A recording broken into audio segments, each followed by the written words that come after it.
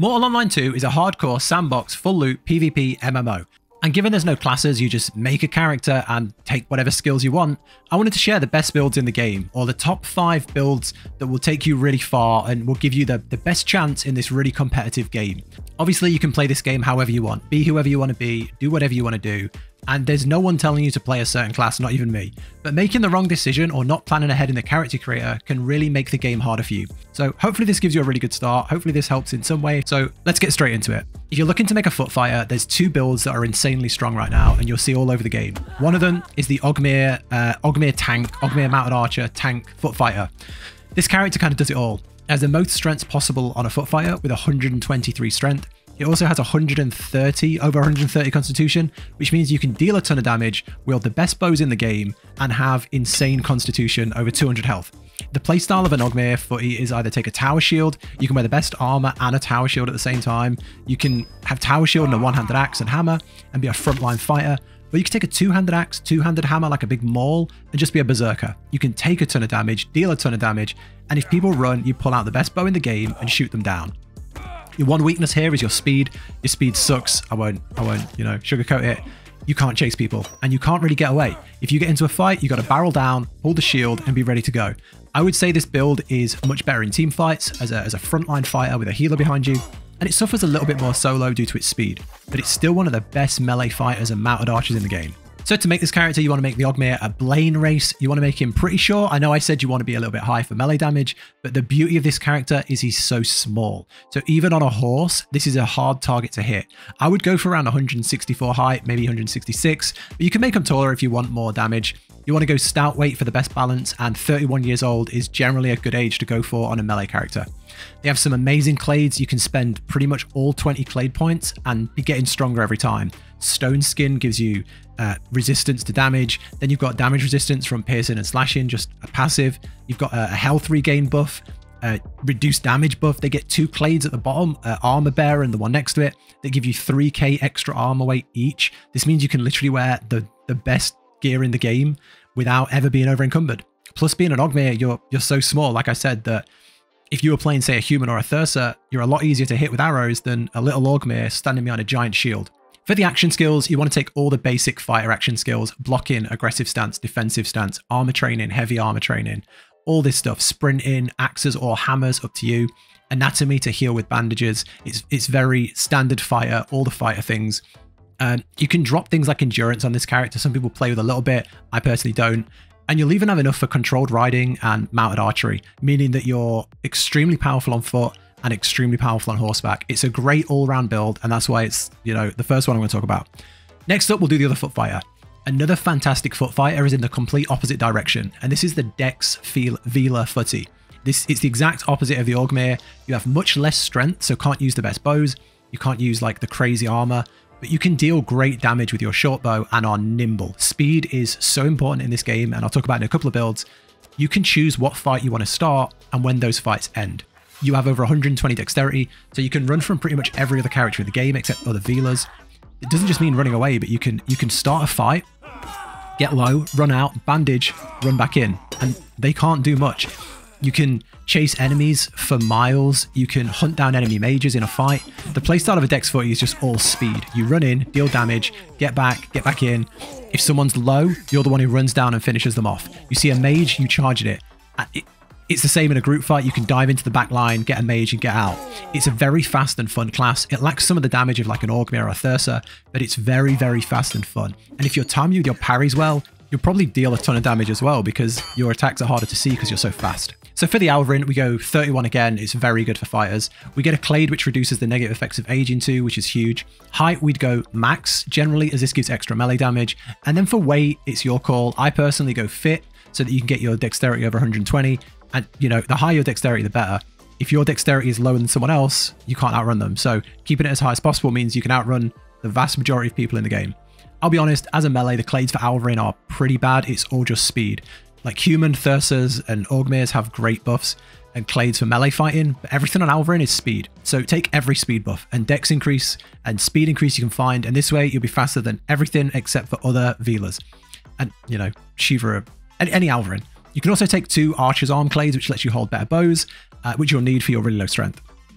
Action skills, super simple. As I said again, all the action skills above, all the fighter skills, except maybe take swords instead of uh, instead of mauls and hammers. If you do want to choose a different weapon, go for it. There's nothing stopping you using spears, daggers, whatever the hell you want. But yeah, it's generally another fighter build with some mounted archery thrown in as well. You can go harder on mounted archery and or harder on the melee side if you want, but there's enough stats to get a bit of everything in here. The Dex Mage, the, the Dex Mage Necromancer, we'll call it. Moving out of the fighters, this this is an expensive build and it's hard to play. This is not a beginner build. I this was my first build. Uh, no regrets, but it's it's not an easy first build. If you can play this, you'll be insane. If you can't, you'll be the weakest guy there. This Dex Mage build uses normal Ecumenical Magic and then Necromancy to summon walkers, raise the undead. It's a very expensive build to finish. Getting all the spells is expensive. So it's kind of hard for a new player who doesn't even know where to go for the spells. But if you're willing to, you know, put the work in, grind the money, learn how to play it, this build is crazy. Once you get once you build this out, you'll be riding on a risen pet with over five walkers at your side, and it just feels amazing. You don't have the same magic damage as, say, a full pure fat mage, and you won't be anywhere near as strong as a footy in melee, but you can go in and out of combat, you can throw pets, walkers, you can cast in, in awesome necromancy spells, you can even throw in a bit of elementalism if you want to throw fireballs. It's a really, really fun adaptive playstyle. So this is another Alvarin, but instead of Veela, we go for the Shiva race, as they're more adept at magic, Again, I'd go 31 for the same reasons as before, and minimum height because we don't care about damage bonus. For weight, this is harder. The skinnier you go, the faster you are, and the more intelligence you have. Therefore, if you want, if you were, if you're in the game and you go skeletal in the end, you would have over 120 dex, uh, 120 uh, intelligence, I think, and 130 dex, over 130 dex. But you'd have no carry weight and no health, so it's a huge risk. A lot of people play this lean, but I, I personally would start lean, which kind of gives you a very good balance. And if you're feeling confident, lower the weight a little bit. You can lower the weights in game just by eating or not eating. For the Clades, you've got the same issue as the Dex Footy, it's, it's all speed, so take them all. There's two really good ones that you can grab here though. Thaumaturge means you have a 50% chance of not using any reagents when casting a spell, which is huge for Necromancy because you save on expensive, hard to get reagents and spirit boxes. For the action skills, this is different. You want all the mage ones. Mental training, mental offense, vitality, you want to take Ecumenical normally to 62 for the heals, for T-Lash, which is the main damaging ability of the school. Um, there's a shield in there.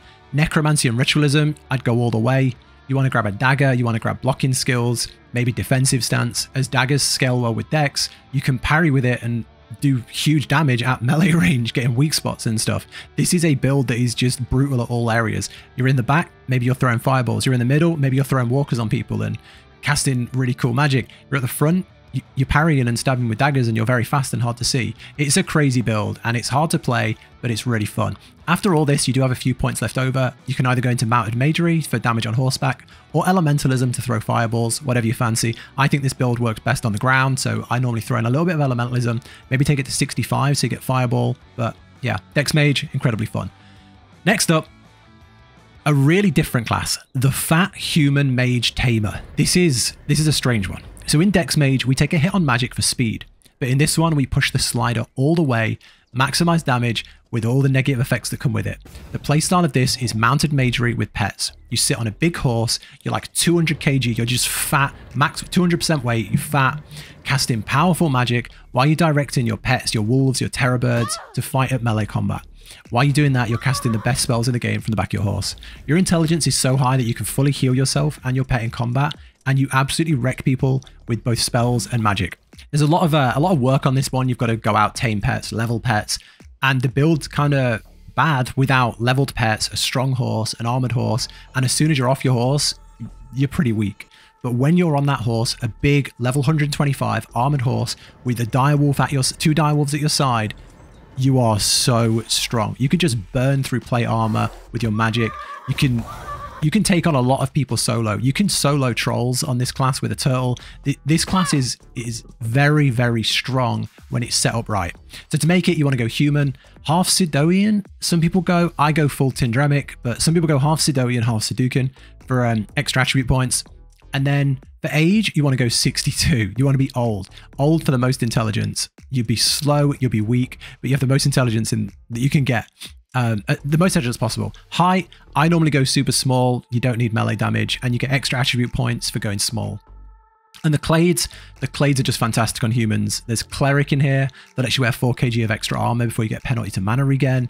And there's loads of other things that give you points back. There's free action points in riding for your all your riding skills. There's 20 free ecumental spell points. There's 50 free action points just flat. There's there's a, a thing in here, uh, Tactician, that reduces damage you deal to allies. So if you accidentally clip an ally or you throw out an AoE and it hits your ally, you don't do as much damage.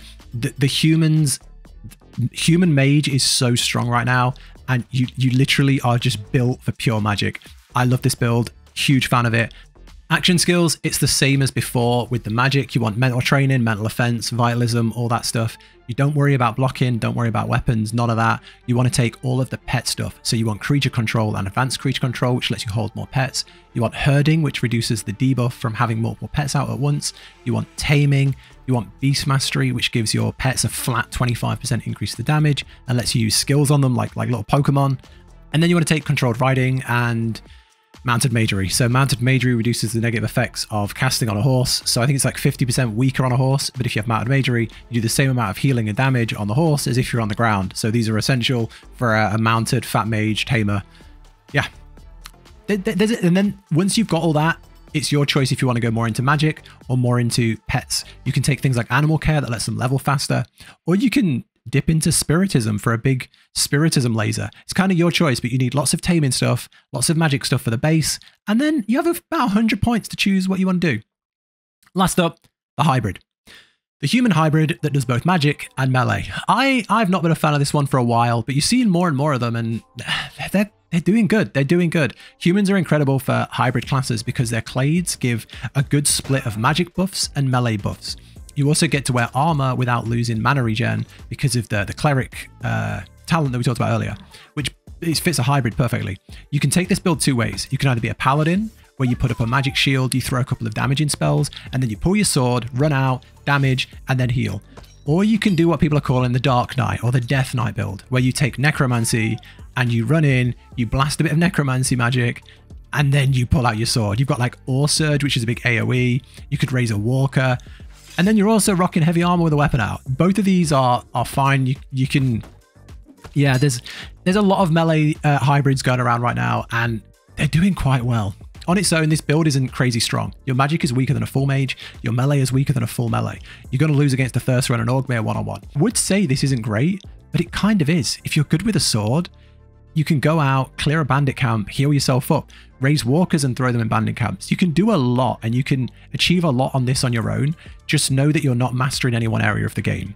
For this, you want to be a, you know, a human. I'd go to Tindremic because they've got good like magical buffs. You want to go age 31 again, the, the standard melee fighter age.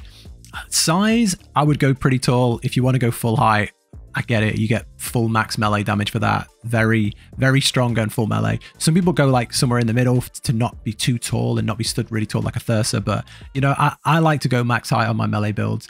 Um, weight, you want to be stout. Again, it's it's it's the go-to normally for a melee fighter. And then with action skills, if you've watched the video all the way, you've seen us talk about the fighter action skills, you've seen us talk about the, the mage action skills, and it's somewhere in the middle. You, you know, you're not taking the out archery stuff this time. You're going to go swords or weapon of your choice armor, heavy armor, aggressive stance, defensive stance, blocking, sprinting, all these things. You don't need to go into anatomy for bandages because you've got healing from magic, but you can if you want. And then you need to pick up the magic stuff. Vitalism is your, your mana regen, mental offense for damage, mental uh, training for, you know, to lower the magic cost, all these things. Um, and then you want to choose your magic schools. Ecumental, most people go to 62. You get T-Lash, you get the magic shield, you get the heals.